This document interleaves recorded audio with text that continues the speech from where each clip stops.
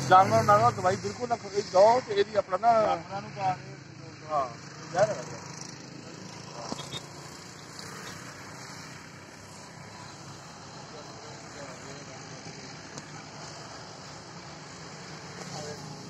Good.